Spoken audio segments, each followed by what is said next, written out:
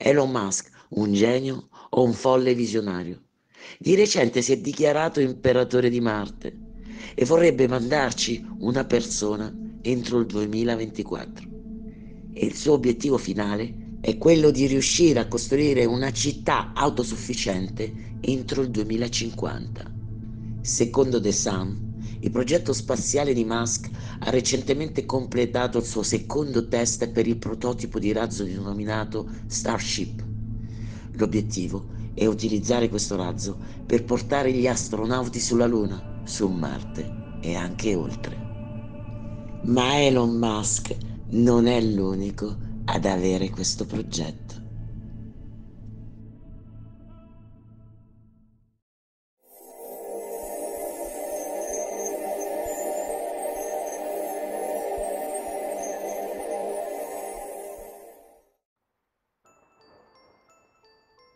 Le immagini che state guardando fanno parte di un progetto incredibile e fantascientifico, e cioè la realizzazione di una città sostenibile su Marte. Avete capito bene? Il team di architetti che ha presentato questo incredibile progetto fa parte dell'Abibo Studio ed è avvenuto durante la ventitreesima convention annuale internazionale organizzata dalla Mars Society e si è tenuta nell'ottobre del 2020.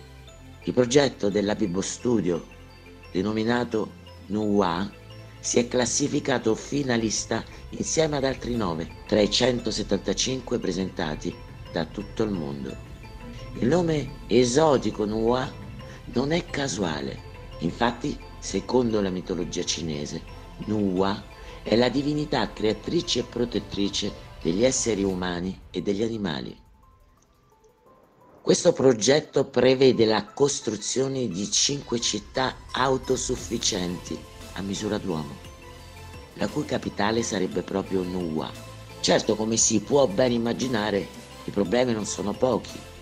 A causa della bassa pressione presente sul pianeta, gli edifici infatti non potranno essere costruiti come sulla Terra e si svilupperanno prevalentemente in orizzontale e saranno costituiti da elementi tubolari e modulari che si assembleranno sul posto. Le strutture saranno disposte lungo il pendio di una delle scogliere del pianeta, inserite nella roccia, in modo da essere protetti da possibili piogge meteoritiche. Una delle località selezionate potrebbe essere Tempe Mensa, nella parte centro-settentrionale di Marte. Inoltre, poiché radiazioni solari e gamma non consentiranno l'esposizione diretta con il cielo, i collegamenti avverranno tramite una rete di gallerie e di ascensori ad alta velocità. Nel progetto verranno inclusi grandi spazi verdi destinati alla coltivazione e all'allevamento di animali.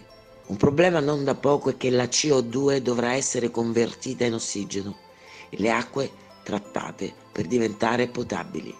Pensate che è stata studiata anche la vita nel dettaglio dei futuri abitanti di Marte i quali potranno spostarsi da una città all'altra grazie a veicoli elettrici pressurizzati, treni leggeri, autobus e si potranno frequentare spazi artistici, aree verdi e giardini urbani. Sono stati già analizzati modelli economici, forme di governo e sistemi educativi da portare sul pianeta rosso. Questo progetto è ovviamente in collaborazione con i più grandi esperti nei più svariati ambiti, dall'architettura all'astrofisica, dall'ingegneria spaziale alla chimica, eccetera, eccetera. Ogni città, vi ho detto 5 in totale, ospiterà tra 200.000 e 250.000 persone, per un totale di un milione di abitanti. L'obiettivo è quello di cercare una soluzione che possa fornire cibo, energia, materiali, trasporti anche a considerevole distanza dalla Terra. Secondo i più ottimisti, i lavori potrebbero partire nel 2054 e concludersi entro il 2100. La corsa a Marte è iniziata da circa 60 anni e oggi stiamo assistendo a una straordinaria accelerazione e tutto questo ci lascia immaginare che la colonizzazione di questo pianeta forse non è più un'utopia.